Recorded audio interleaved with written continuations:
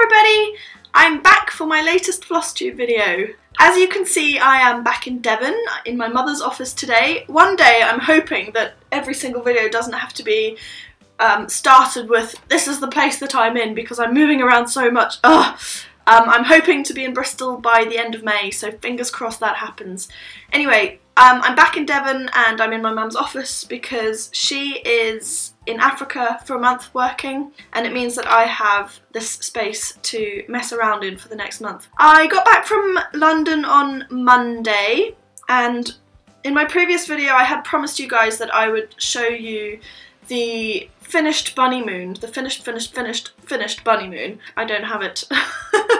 I spent a really long time wondering how I was going to actually send it to them. I've talked about it on my videos for the whole time I've been doing FlossTube and I just decided that I wasn't happy sending it as a finished object, partly because it could get damaged in the post, but also because with everything that happened, mainly not enough floss, um, I didn't have enough time to send it. So I had to send it via a slightly faster method and it was cost prohibitive to send it as a as like a really big finished thing because it would have been la much larger than an A4 piece of paper and the packaging costs were just ridiculous so long story short I sent it as a an ironed folded piece with instructions on how to iron it when they got it back and then I said that I would give them instructions on how to frame it if they wanted to do that and otherwise I would pay for them to get it framed in Auckland um, and it's gone off into the ether. I'm hoping it gets there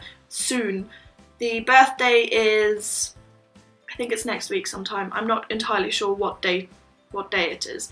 Yes, that is gone and I'm hoping that I'll get an FFO photo for you guys soon because I would like to see it as well. It felt strange to send off something that I had been working on for so long and it's just gone, vanished. Didn't enjoy it. So, what am I working on now? I my rotation has kind of gone to pot. Um, I have it written down somewhere, but things have been so strange in the last couple of months that it's sort of just died a death almost. I'm going to dig it out in the next few days and go through it again, but just been making stuff up as I go along in the meantime. While I was in London, because I was there for longer than I had planned, um, I had taken some knitting, but my RSI with my knitting is just so bad, whereas with stitching it's, it's easier on my hands. So John sent me off to John Lewis one day and he was like, "You, if you come back without cross stitch, I will be mad." So I came back with cross stitch. Um, I spent ages looking at the kits that were in John Lewis, but they don't have a really good selection, to be honest. Um, they do. They did have some cute charts by Rico, but I got those free in a magazine a few months previously, so they were they were pointless. There was no point spending loads of money buying them. I decided to just use on the patterns I already had. I bought some fabric and then because I didn't have any of them with me because they're all on my laptop, the only one that I could remember the colours for was this Plum Street sampler which uses red, green and black.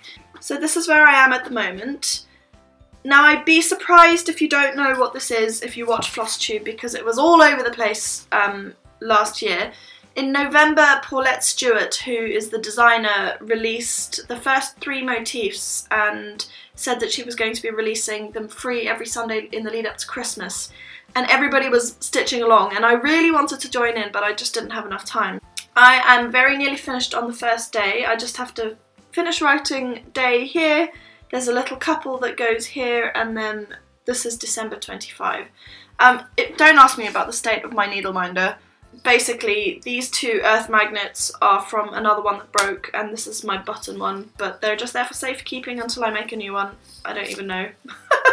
so that's going well. Um, I don't know if I'm going to work on it anymore. It is only April and I mainly just started it to have something to do so I think that one might go away for a while until some of my other stuff is done because like there are other things that I need to get done. So the leopard is you're not going to see much difference. I have worked on this since the last time I talked about it, but not a lot. I'm so close to finishing here, it goes to about there. Um, and I stitched on it a lot last night. I really, really like the effect of the tree that's come out here. Um, anyway, this is what I'm working on this week and I'm hoping to make some good progress on it. But every time I take it out I feel like I say that and I'm trying not to hold myself too accountable to my schedule because I wrote up the schedule of what I was going to do because it's a birthday present or a Christmas present, I haven't decided which, and I just wanted to get it done, but it was stressing me out so much that I found I wasn't working on it, so I'm going to hold back on that and just do what I like when I like.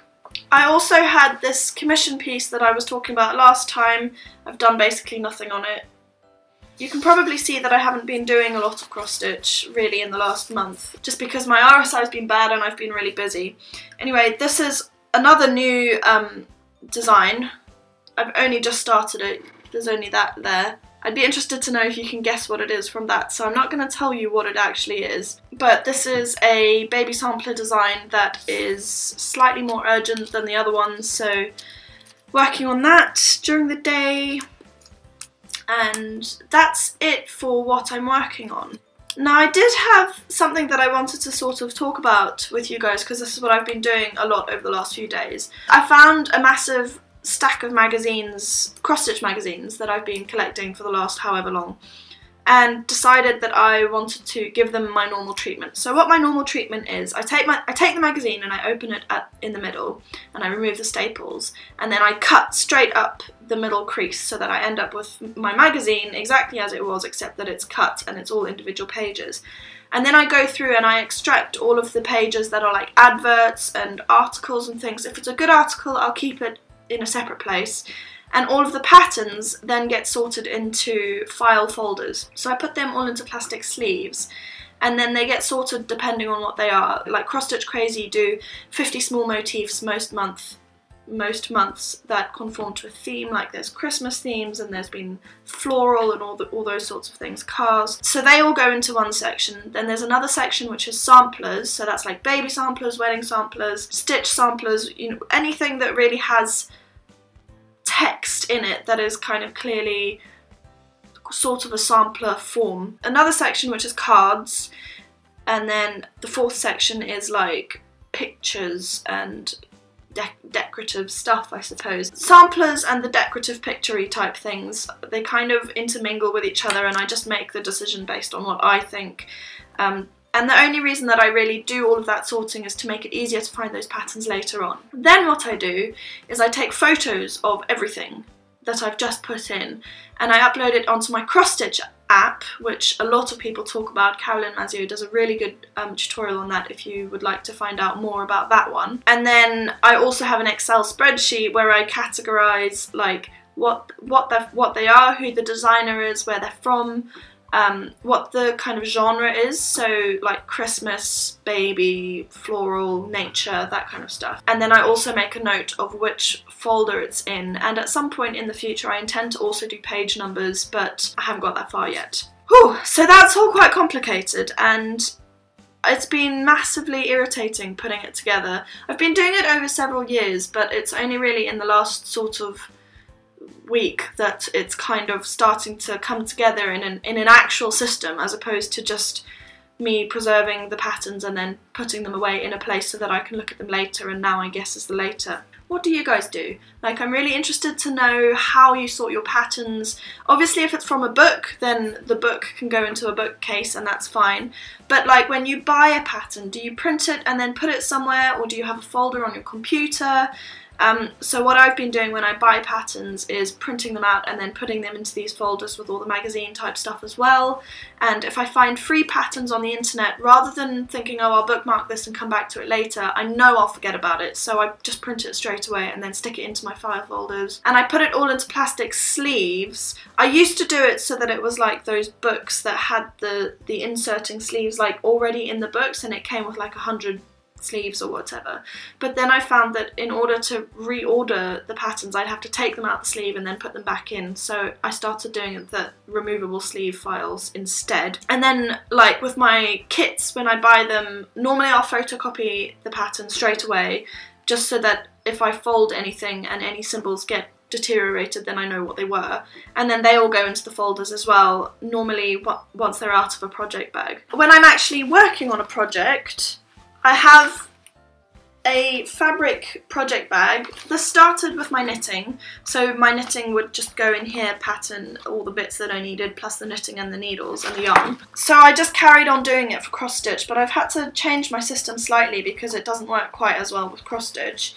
Um, obviously with the leopard being on the frame it's too big for me to put in the bag but normally I will put like here is that commission piece and it's just in in the bag there um, uncovered and I want to change that system slightly because I'm finding that the fabric gets a bit grubby. Anyway in the leopard bag I've got my magnifying glass, I've got my pattern and my, my key to the colours and the symbols and all that stuff and I've got a pencil in case I need it, but I generally don't tend to write on the patterns. And then I, ha I have like a little baggie that's full of my bobbins and it normally has the scissors in, but I'm using the scissors at the moment. Um, and then also here, I was talking last week about how I cut up my pattern and then use the small pieces instead of the full pattern. So here I've got like a bulldog clip with all of my pattern pieces in it. And then at the back here is number five. So whenever I finish with the thing, it goes onto the back. So obviously number six is the one I'm working on. Um, so that the one on top is always the next one because I find that I need to refer to it if I'm parking. And then I also have in my bag, I can put this away, this dude, which is a Twizzler. I've talked about this so many times. Basically, just like a wing nut goes in there and you can use it to tighten up your frames or your hoops and then also my Orts thing um, and I also in my handbag I have an Orts bucket box type thing as well which is just an empty chewing gum bo box. I don't really keep the Orts for anything in particular but I don't like leaving them lying around. I discovered that my family really hates that so I've become very um, picky about making sure I pick up all my stray threads and put them into an Orts box. So that's how I organise my stitchy life. I'm hoping that once I move to Bristol I'll have a proper craft room which is inside and not outside in a barn, which is where my studio is at the moment. Um, and it's very windy and cold, so I hardly ever go there. And as a result, I have things like everywhere in my room, in my studio, all over the house. So I'm hoping that once we move, I can be more organised about that. But for now, this is this is the system that I'm using. The reason everything goes onto into a project bag is because I then put this on a hanger in a closet. So I have a whole closet, which is quite extravagant, I know, dedicated to spinning, knitting, and cross-stitch projects, all in their own individual bags, and that is that. Okay, I hadn't planned to make this a tag video, but I've kind of retroactively done it now. so you've just had that whole big discussion about um, what I what I what I do. So the questions for the tag are going to be number one, how do you organise your magazines? Number two, how do you organise your kits? Number three, how do you organise digital patterns? Number four, how do you organise books? So obviously I've just told you all that books go in a bookcase and then everything else goes into file folders organised by four categories, small motifs, cards, samplers and other. Next question will be what do you keep with your WIPs? One thing that I forgot while I was talking about it is I always have a screwdriver as well um, because most of my projects are on embroidery hoops and to get the tension nice and tight I keep a screwdriver. I must be one of the only people on the planet who walks around with a screwdriver in their handbag but whatever. Number six, how do you store your WIPs when they're not in use? So I put mine into a wardrobe. Number seven, where do you store your finished objects before they become fully finished objects? So I have a like plastic box thing that is quite large and they all go in there once they've been ironed. Normally this is not an issue for me because if and if something's an FO, it becomes an FFO almost immediately, and if not, then something is done with it. So I don't really have to do that. Number eight, do you have any other tips for organising your cross stitch that you think other people would be interested in? I would love to know. If you do these tags, then please let me know. I would love to see your videos. While I'm on that note, I am a little bit behind on my FlossTube videos, but I'm catching up um, and I'm hoping that I will be able to be up to date soon, that would be cool. Alright, I am going to go now because this has turned into a much bigger video than I planned it to, but I hope you have a really wonderful day and you enjoy your stitching, and I will see you guys all next time. Bye!